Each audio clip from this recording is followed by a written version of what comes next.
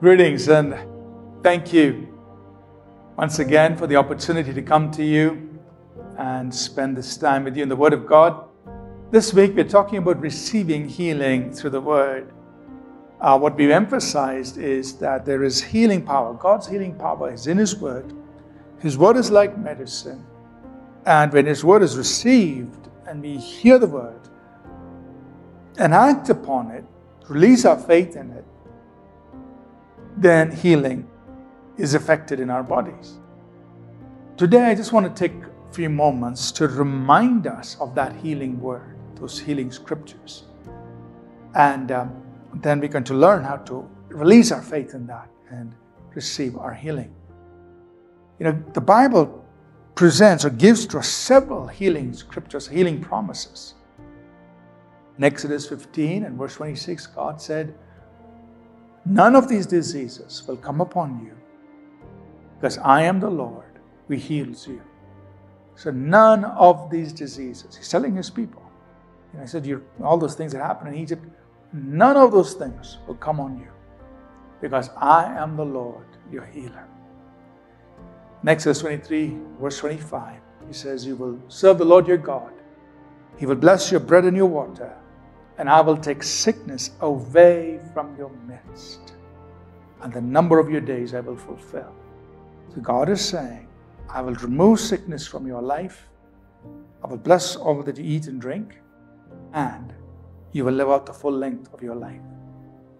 In Deuteronomy 7, verse 15, he says, I will take sickness away from your midst. So God is the one who takes sickness away, not the one who brings sickness in. He takes it out. That's our God. In uh, Psalm 91, he says, verse 10 No evil shall befall you, no plague will come near your dwelling. He says in verse 16, With long life I will satisfy you and show you my salvation. So God says, No plague, no disease will come near your dwelling. We know Psalm 103 says, Bless the Lord, O my soul. He forgives all our sins. He heals us of all our diseases. God is the healer.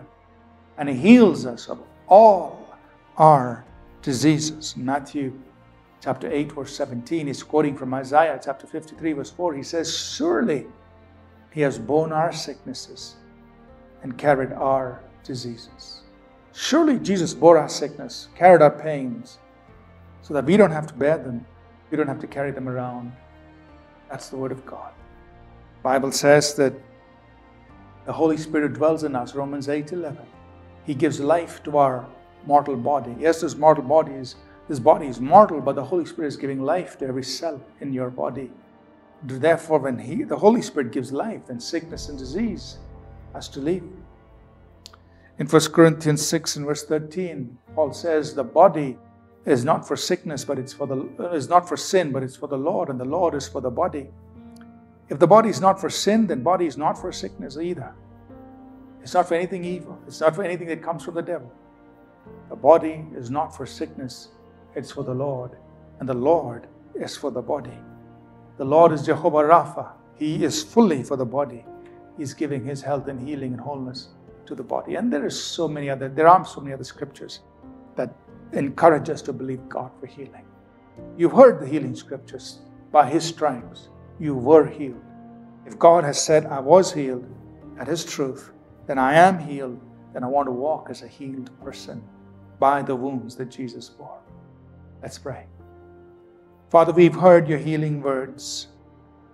None of your words will return to you void. Let healing be administered to every person listening today. In Jesus' name, amen. Thank you for tuning in to Living Supernaturally. For more resources to strengthen your spiritual walk, please visit apcwo.org.